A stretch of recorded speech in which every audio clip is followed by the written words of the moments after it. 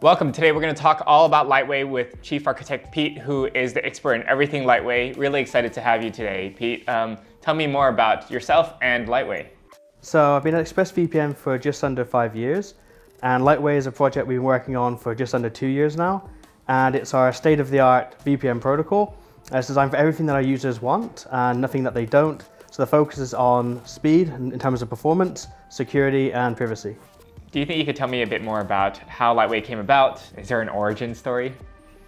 Um, there's a bit of an origin story. Most VPN providers, when you know WireGuard came onto the scene, it really you know blew away the competition. Right? It, it was so much faster than OpenVPN. It was simpler than OpenVPN. Um, it had a lot of interesting concepts that kind of changed how people even thought about VPNs. And these were ideas and concepts that would be really, really nice to have in a consumer VPN product. The challenge though was the things that WireGuard is really, really, really good at, and the things I use it for because it's so good at doing them, kind of interferes with how you would want that to work if you're building a large consumer platform. So it's not that WireGuard can't do it, it's more that WireGuard was designed with a very uh, specific set of principles that WireGuard follows. And if you want WireGuard to work well on a you know platform like ExpressVPN, you have to tweak it a little bit. You have to change the rules of the game. And that affects how you kind of look at WireGuard. And if you start tweaking the rules, is it still WireGuard? Um, but we really wanted these benefits. Um, and so like I think many other people, we, we played with it. But what we really wanted was something more. Um, and so we looked at what we already had, um, OpenVPN um, being our main protocol. And I was like, okay, well, what is it about OpenVPN that prevents us getting all these cool benefits that, that WireGuard could offer? And then we started thinking, well, if WireGuard did things this way, or if OpenVPN did it that way, then we'd have something really special. We sat down and said, well, what does the perfect VPN protocol look like? You know, blue skies, green fields. If we could build something from scratch today, what would it look like? How would we build it?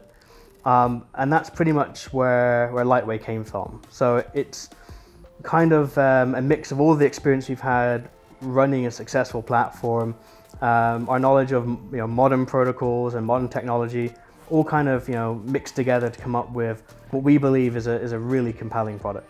And you just mentioned, you know, obviously it builds on our, our long experience of running ExpressVPN, having experience with what it takes to run a VPN at scale. Are there any specific things that you felt, okay, I was only able to do this because I had been working on, on VPN technology for so many years? Definitely. Um, so because I've been using um, OpenVPN almost since its inception, so um, at least for 15 plus years, uh, I think actually longer than that, just as in a, in a personal context, and then obviously using it here to provide you know a service for for millions of people. We deal with that on a day-to-day basis. So we see a lot of these weird um, edge cases that you know most normal users never see, because um, we're taking this thing up to to a huge scale and we're hitting things right at the edge of what's possible. And this kind of um, insight of how do we deal with those things whilst you know keeping it stable and reliable for everybody else. Um, that insight kind of gave us the confidence to even you know look at this question. It was only because we are you know very confident in you know both our experience with this, this platform up to this point and what makes these you know modern platforms so interesting that we felt that you know this is something that we could build. Um, and even then, we outsourced the security aspects to wolfSSL because that's that's not our area of expertise, and that's something we, we definitely didn't want to touch. Absolutely. Yeah, and of, of course, one of the challenges that I mean, we've definitely talked about with OpenVPN is over the years, us trying to build all these things on top of it that it wasn't really designed to handle. Yeah. And I know Lightway is designed kind of, we future-proofed ourselves a little bit by making sure that it was easy to, to build on top of. Yeah, so OpenVPN, when it was kind of first released, it was just meant to be a simple VPN connection that you could just set up and it just worked. It was never meant to be high performance. It was never meant to be super scalable. Um, it was just meant to be simple and, and work. Um, and so every time some new use case would come along, they, they would add something to it or they, they tweak something. So over literally the decades, you've now got something that's very complicated, And if you just want to make a slight tweak somewhere, it affects things in you know other you know files or other parts of the protocol that you know you may not even be aware of. What we've done with Lightway is very specifically um, kind of add um, hook-in points where we can add very specific features um, if we want them down the line. Um, so they're not fixed. Um, we can easily change it. We can add stuff. We can move stuff around um, without having to pay you know the penalty of fitting into like somebody else's architecture. So we also wanted something like that where we could just play around with it, where we could easily um, expand it, but also where we could do it quickly. So with the lightweight code base, um, we can make changes very, very quickly, um, get this out to customers, you know, potentially in you know hours or days rather than you know weeks or longer. And in terms of what users should expect when they switch to Lightway, what, what's the experience that they're going to have? So one of the things that we tried to do with Lightway is to try and make it feel like there's no VPN there at all. So if you're connected to a location that's close to you, um, you'll enjoy very fast speeds. Uh, websites will be snappy. Lightway is kind of exciting because it tries to do something very different from what we've seen before. So historically, you've had protocols like OpenVPN, and they work great if you've got you know a laptop on a desk with, with a Wi-Fi connection or you've got a cable and you're fairly static. Well, what we've seen with the modern you know workload for this is mobile devices, right? So you're constantly changing Wi-Fi, you're constantly moving between cell coverage, you're constantly going from 5G to 4G to 3G and back again. Uh, all of these things create uh, interruptions in how people are using it. Um, so one of the nice things about Lightway is it tries to smooth that over. So when you change networks, um, Lightway keeps you connected, um, and it does this in a, in a really nice, secure way. The benefit of this is the applications that run on top of Lightway or on phone to like, let's say Facebook or WhatsApp, um, they don't even realize the network connection has changed. So what could be quite slow for them to, to reconnect or to deal with that change, because Lightway kind of hides that from them, um, you know, they never have to activate you know, that part of the code. So you get faster reconnects on WhatsApp, um, you get faster updates when you say, if you order an, an, an Uber and you come out of um, the lift, you'll find that you know, your signal comes back faster, the apps recover quicker. In terms of privacy and security, what are the benefits that we're seeing with Lightway? So with Lightway, we've been um, extremely careful. So we're using off-the-shelf standard um, cryptography. So when we're using um, our, our, UDP, which is our, our, fastest, most reliable protocol, we're actually using the DTLS standard. And for TCP, we're using the, the TLS standard. So we've not invented our own cryptography. Um, we very much believe not, you know, that we shouldn't invent our own cryptography. Um, so we've basically taken off-the-shelf standards and adapt them to, to our needs rather than creating um, our own. And I know we also worked with um, wolfSSL on the cryptography part of it. And you want to talk a bit more about that? When we want to do the cryptography, we want something that's really nice and easy to use and safe to use. Um, but we also want something that's really fast. So where wolfSSL gives us these really big benefits is they've done a huge amount of work on optimizing for all sorts of platforms um, for the iPhone, um, for the M1 processor now, obviously for Intel. So they've done all this hard work for us, so we get all those benefits, but they also make it really, really easy to use.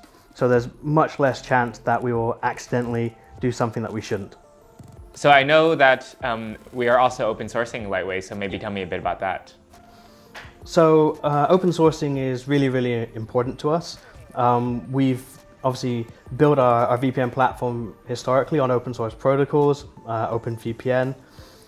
And there's two main reasons why we want open source. One, it's just us being a good citizen.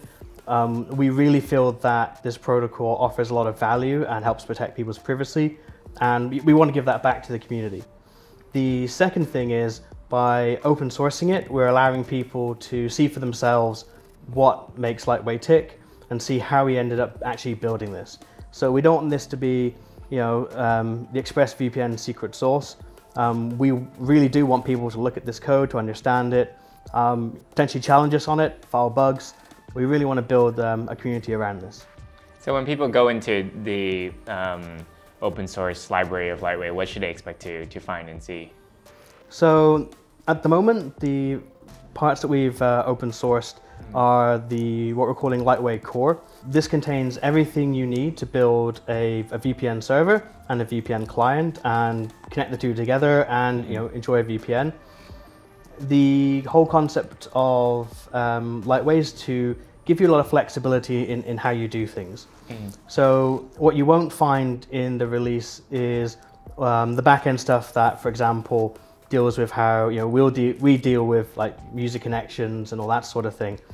Um, but what we are going to release, and will probably be released by the time you hear this, is a very um, lightweight reference implementation, shall I say, of a, a VPN server and a VPN client. So with these, um, you will be able to take the Lightway core, build a VPN server, build a client, and then create your own VPN. We're hoping to have some nice tutorials on that and some nice documentation to go around it. Um, but we really want people to be able to take this and, and play with it and see it as a, a real thing, not just as an exercise of here's some code you can look at, but something people can pick up and actually play with. So anyone, regardless whether you're an ExpressVPN user or not, or subscriber, you can take the code, set up your own Lightway server and client, and actually use Yes. Lightway as a VPN protocol. Yes. Pretty cool. Yep, um, and we, we, we actually welcome that. Um, Yeah. We briefly talked about, you know, we use UDP and TCP, but the design of Lightway is kind of unique in that it can use any sort of um, transport. So potentially you could do um, Lightway over emojis, you could do Lightway over Google Sheets, um, you could do Lightway over Carrier Pigeon if you really wanted to. Be a bit slow, but you could make it work. So we're kind of putting this out there to see what people kind of come up with and to, just to encourage that sort of community of experimentation and just playing around with um, what this can do. Um, we've taken a leaf out of wolfSSL's book in that Lightway is designed so that you can set up a very simple um, VPN server and client without having to be an expert in VPNs. So all the tunneling is done for you. There's um, hooks to do authentication. You just kind of wire things up and you're good to go. So it's not like we're providing um, a piece of technology that doesn't really work for you and you have to kind of, you know, beat it with a hammer to try and make it do something useful. Um, we've, we've taken the other, the other route for this, so it's very simple, very lightweight, Right. um, and you can wire it up into pretty much um, anything that you want. So open sourcing obviously has these you know great benefits in people being able to to test it out and contribute it, um, and also has security benefits as well. Um, maybe let's talk a bit about that and also um, how transparency and security go hand in hand. Sure. Um, I think a lot of people, when they think of um, particularly VPN protocols, they're very much focused on you know the, the security aspects of it. What we want to do is kind of make it so that it's so so simple and so open that rather than you know it being um, no obvious bugs, um, I can't remember who actually said that, but there is a quote that says you know rather than it being so complicated that there's no obvious bugs, uh, make it so simple that there's obviously no bugs. And that's kind of what we've gone for um, with Lightway. So everybody who's worked on it um, has, the, has the right level of, of paranoia. Um, we're very conscious of the level of trust that goes into this. And this thing's been through a lot of refinements, um, just so that everybody who's worked on it is, is really happy that it's doing what it's supposed to be doing. So internally, we've got our own um, pen testing team. Um, they've attacked um, Lightway constantly and consistently throughout its development cycle, um, and we've held very strong there. Um, we even asked wolfSSL to come in and audit how we'd use their library. So it's a very simple library to use, but just to be on the safe side, we wanted the experts to come in and just make sure we hadn't forgotten something obvious. There wasn't some setting that we should have set that you know we haven't. Um, th- those sorts of issues. Um, but then we also want to get you know um, a full external view on this. So we also worked with Cure53, um, and their role was slightly different to our internal pen testers and different to the Wolf um, audit in that they were deliberately looking for you know, real security issues, how they could exploit and, and attack um, Lightway itself, both as a protocol and, and as how we've implemented it. We did extremely well on those audits. Um, there were some minor issues that we resolved. They were mostly um, different opinions and different ideas. So it was a case of working with um, you know the guys at Cure53 to get a really good understanding of what their concerns were and then work through them to address it. So what we really want, is, and by you know, open sourcing this, if someone sees any any issues or someone else attacks it and finds a problem, you know we have our standard, our bug bounty. Um, you know, we will act responsibly with those bugs. If people were to find issues, we will be very active in working with those people to resolve them as quickly as possible. We also had some nice feedback um, from the guy who did the wolfSSL audit, where his comment was, "This code is really nice. Like I, am I'm, I'm enjoying auditing this code. Um, it's simple, it's straightforward, it's well commented, it's easy to follow. Um, you know, send me more of this." So I think even though we have had feedback from Cure53, that's a good thing. I mean, these are different set of eyes, different way of thinking, um, and that really makes it easier for us to then, you know, kind of combine these different viewpoints and make sure that, you know, we, we've, we've covered everything from multiple angles. And so even though they found issues, the overall um, summary of the work was, you know, this, this work is basically, you know, is, is outstanding, it's excellent quality. So you and your team must be really excited. You've been working for so long. Um, how does it feel to to, to get it out in the world and I think now in the hands of basically all ExpressVPN users. It's always um, you know a bit nerve-wracking when you release something like this you know to the world.